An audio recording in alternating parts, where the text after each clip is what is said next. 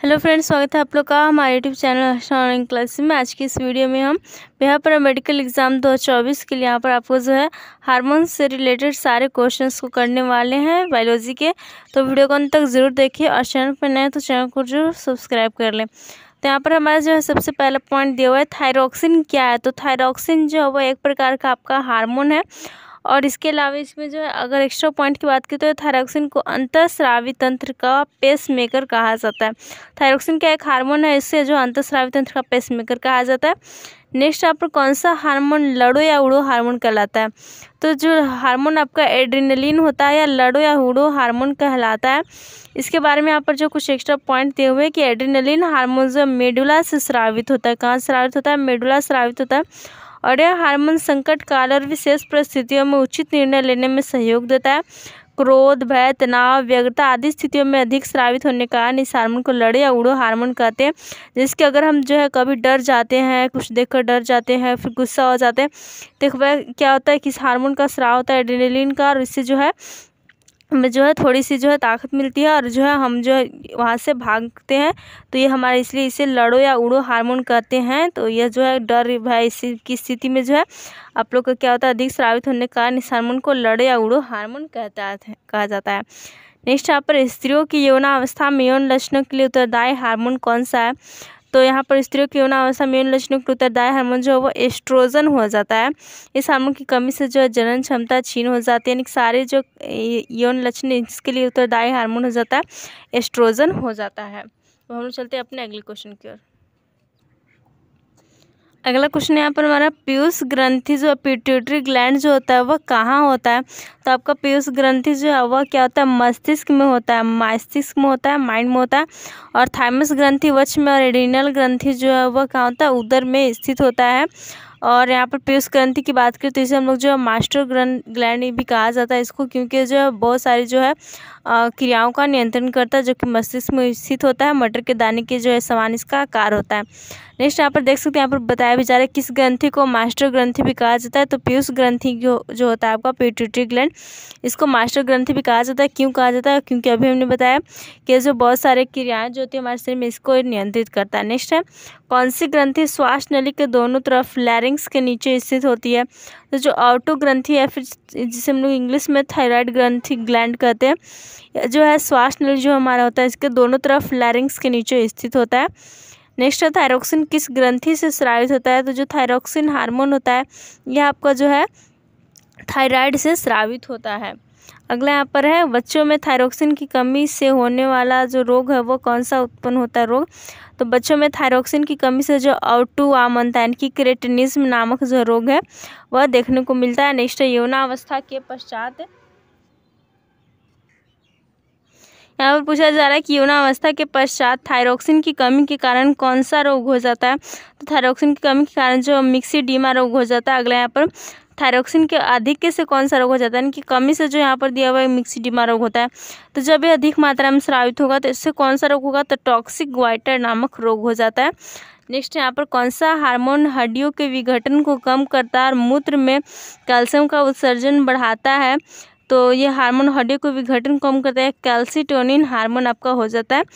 Next, कौन सा hormone हड्डियों की वृद्धि और दांतों के निर्माण का नियंत्रण करता है? तो जो पैराथायरॉयड हार्मोन होता है, हड्डियों की वृद्धि, हड्डियों का विकास और दांत के निर्माण का नियंत्रण करता है। नेक्स्ट, यहाँ पर, कौन सा हार्मोन शिशु के लिए स्तरों में दुग्ध स्राव उत्पन्न करता है? तो शिशु के लिए जो है, हार्मोन जो एल टी एच हार्मोन या लैक्टोजेनिक हार्मोन यह जो दुग्ध स्राव उत्पन्न करता है।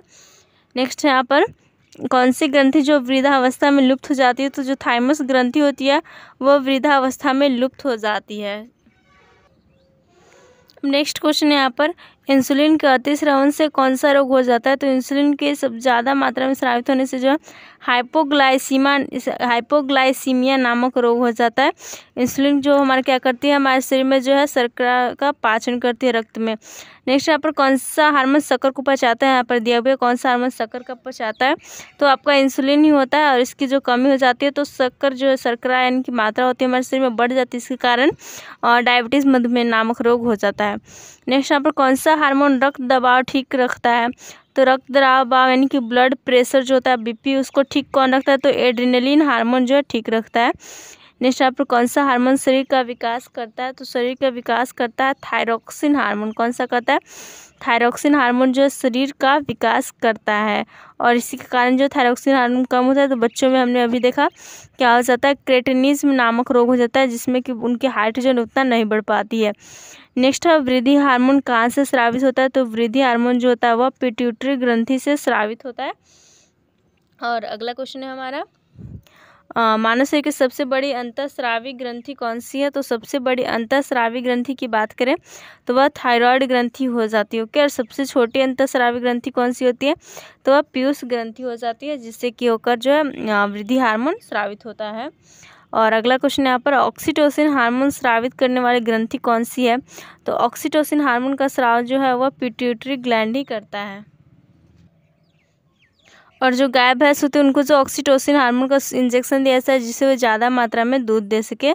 तो ओके तो ये हमारा कौन सा श्रावित होने वाला ग्रंथि कौन सा तो पिट्यूटरी ग्रंथि से श्रावित होता है। अगला क्वेश्चन यहाँ पर। कौन से ग्रंथु अश्रु, यानी कि टीयर को श्रावित करती है, आँसू को श्रावित करती है तो जो लैक्रीमल ग्रंथि इसके कारण जो है हमारे आँसू निकलते हैं नेक्स्ट यहाँ पर एस्ट्रोजन का स्राव किसके द्वारा आता है? तो जो एस्ट्रोजन एक मादा जनन हार्मोन है, और इसका श्रवण जो होता है ग्रेफिन पुटिका या फिर जो इंग्लिश में से ग्रेफिन फॉलिकल कहते हैं, इसके द्वारा होता है। अगला यहाँ पर रक्तदाब का नियंत्रण कौन करता है? तो रक्तदाब, यानी ब्लड प्रेशर का नियंत्रण जो अधिवृक करता है, कौन करता है? अधिवृक करता है तो इसे आप लोग याद रखिएगा। नेक्स्ट क्वेश्चन यहाँ पर, स्वस्थ मनुष्य का उच्च और निम्न रक्तचाप कितना होता है? यानी स्वस्थ मनुष्य का जो है ब्लड प्रेशर वो हाई ब्लड प्रेशर कम ब्लड प्रेशर कितना होता है? तो ये होता है क्रमशः एक सौ बीस एम एम और अस्सी एम एम जो है, एक सौ बीस बटा अस्सी होता है आपका एम एम एस जी और अगला क्वेश्चन यहाँ पर, जीवन रक्षक हार्मोन किस ग्रंथि से स्रावित होते हैं? जो जीवन रक्षक हार्मोन होता है, वो एड्रीनल ग्रंथि से स्रावित होता है।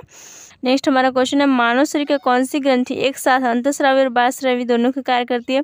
जो अग्नाशय होता है पैंक्रियाजिया जो है अंतस्रावी और बाह्यस्रावी ग्रंथि दोनों की तरह कार्य करती है। अगला क्वेश्चन यहाँ पर पुरुषों में कौन सा हार्मोन जो है, प्रजनन के लिए उत्तरदायी होता है? तो यह जो टेस्टोस्टेरोन हार्मोन होता है, और अगला यहाँ पर है, किस हार्मोन को गर्भ धारण के निर्धारण वाला हार्मोन कहा जाता है? तो यह कहा जाता है, आपको प्रोजेस्ट्रॉन हार्मोन जो होता है, उसको कहा जाता है। नेक्स्ट यहाँ पर किसान के कारण बच्चे को जन्म में सहायता मिलती है तो रिलैक्सिन होता है। यह हार्मोन जो गर्भाशय ग्रीवा को चौड़ा करता है, यानी कि जो रिलैक्सिन हार्मोन है, या जो गर्भाशय की पेशी होती है, इस पर कार्य करती है, जिस कारण जो बच्चे के जन्म में सहायता मिलती है। नेक्स्ट यहाँ पर नेक्स्ट क्वेश्चन, यहाँ पर किस ग्रंथि को जो फोरेस ग्रंथि कहते हैं तो ये एड्रिनल ग्रंथि जो होता है, इसको फोरेस ग्रंथि कहते हैं। क्यों कहते हैं? क्योंकि फोर एस का यानी यहाँ पर जो है सोर्स ऑफ़ एनर्जी यानी कि ऊर्जा का स्रोत यहाँ पर ऊर्जा मिलता है एड्रिनल ग्रंथि से। सिक्स हार्मोन इसे स्रावित होते हैं सॉल्ट रिटेनिंग और शुगर मेटाबॉलिज्म इस कारण ही जो इस ग्रंथि को, जो एड्रिनल ग्रंथि को फोरेस ग्रंथि कहा जाता है।